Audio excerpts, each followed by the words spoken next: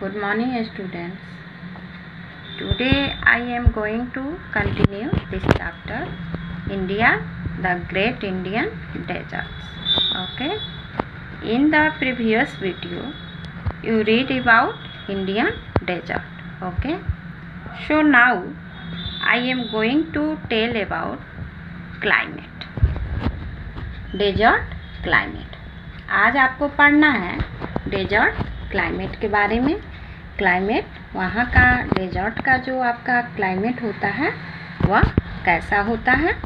वहाँ का, वहाँ पे लोग जो है, कैसे रहते हैं? ओके तो क्लाइमेट के बारे में आपको जानना है। Students open your book page number thirty है ओके और आप ध्यान से इसको देखिए। The Thar desert has a very hot and dry climate आप थार डेजर्ट कहें इंडियन डेजर्ट कहें या आप वेस्टर्न डेजर्ट कहें तो वहाँ का जो क्लाइमेट जो होता है क्लाइमेट यानी ड्रा आपको जलवायु को कहते हैं हॉट गर्म, और ड्राई यानी शुष्क ओके तो थार डेजर्ट का जो आपका क्लाइमेट होता है, वह बहुत ही गर्म और बहुत ही शुष्क होता है। फिर से आप देखिए the Thar desert has a very hot and dry climate okay Thar desert का जो आपका क्लाइमेट होता है, वह बहुत ही हॉट और बहुत ही ड्राई यानी बहुत ही गर्म और शुष्क होता है। Clear days record a very high temperature and nights become extremely cold यहाँ पे आप देखिए, बता रहा है कि days record a very high temperature. वहाँ का दिन जो होता है, दिन में बहुत ज़्यादा आपका टेम्परेचर रहता है, ओके? दिन के समय में बहुत ज़्यादा टेम्परेचर, यानी बहुत ज़्यादा गर्मी। And nights become extremely cold. और रात जो होती है, वो अत्यंत कोल्ड, यानी ठंडा होती है, ओके? आप जान गए कि यहाँ का डेजर्ट जो है बहुत ही हॉट और ड्राई होता है। दिन में ज़्यादा आपको कह रहा है कि दिन का टम्परेचर जो है बहुत ज़्यादा होता है और रात में जो है अत्यंत ठंडी होती है। ओके? दिस इज़ बिकॉज़ यह है क्योंकि, क्या रीज़न है कि आपको दिन में इतनी गर्मी लगे और रात होते होते फिर ठंडी शुरू हो जाए?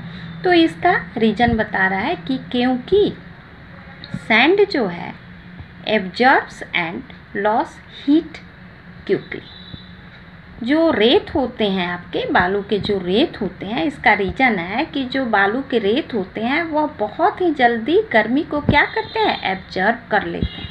यानी तुरंत गर्मी को अवशोषित कर लेते हैं, जिसके कारण जो है, तुरंत आपका नाइट में ठंडा हो जाता है। ओके क्लियर आप समझ गए कि रेत के कारण वहाँ की रेत जो है, तुरंत एब्जर्व कर लेती है हीट को, जिसके कारण से वहाँ रात में ठंडा हो जाता है। Okay clear summers are extremely hot and winters are biting cold अब समर में बता रहा है समर में ज़्यादा गर्मी, अत्यंत आपको गर्मी होती है एंड विंटर्स में आपको बता रहा है वाइटिंग कोल्ड यानी ज़्यादा ठंडी है।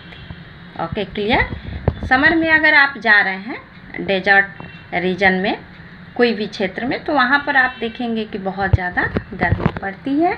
लेकिन विंटर में यहाँ बता रहा है कि बाइटी कोल्ड यानी अत्यंत ठंडा। ओके क्लियर आगे बढ़ते हैं। During summer hot winds called loo अब यहाँ बता रहा है कि समर में जो हॉट विंड्स चलती है, तेज हवा तो उसको हम लोग लू कहते हैं। ओके समर में वहाँ पे बहुत तेज़ हवा चलती है तो उसे हम लोग लू कहते हैं।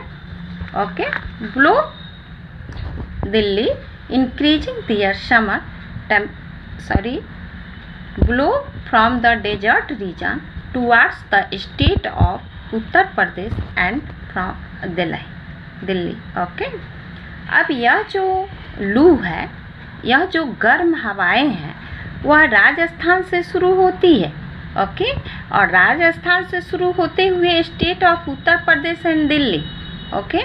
तो यह उत्तर प्रदेश और दिल्ली की तरफ़ रुख करते करते जाती है, जिसके कारण आप देखेंगे कि increasing their summer temperature summer के समय में यहाँ भी क्या हो जाता है? ज़्यादा गर्मी पड़ती है और लू भी लगती है।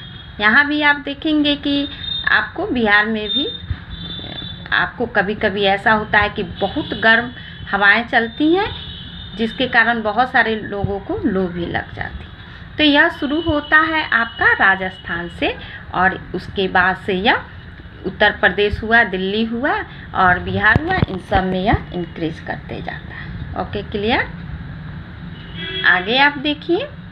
Rainfall is very scanty and is less than 25 centimetre rainfall rainfall यानी बारिश जो है बहुत कम होती है लेस दैन 25 सेंटीमीटर बता रहा है 25 सेंटीमीटर से भी कम। यहाँ बारिश बहुत कम होती है ओके पर एनुअम यानी प्रति वर्ष।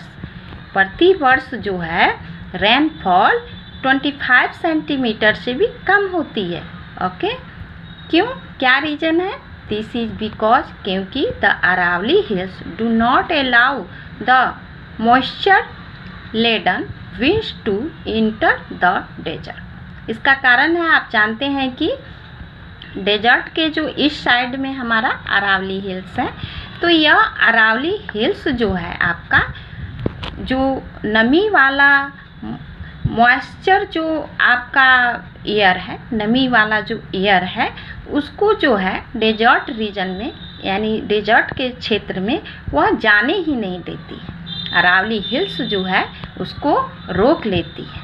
जिसके कारण क्या होता है कि डेजर्ट रीजन में जो है, आपको बारिश नहीं हो पाती है, बहुत कम बारिश होती है। पर एनुअम बता रहा है कि 25 सेंटीमीटर से भी कम यहाँ पर बारिश होती है। ओके? क्लियर अब देखिए कि आगे के, आगे आपको पढ़ना है कि वाटर रिसोर्सेस यहाँ पर जो है वाटर का कहाँ से मिलता है वाटर चूँकि आप जानते हैं डेजर्ट एरिया है, यहाँ पे नदी भी नहीं है, एकमात्र नदी है तो यहाँ पे जो वाटर है, कैसे आता है? यहाँ के लोग जो है, कैसे वाटर के बगैर रहते हैं या कैसे खेती करते हैं, इन सारे चीज़ को आप दूसरे वीडियो में पढ़ेंगे। ओके, आज के लिए इतना है।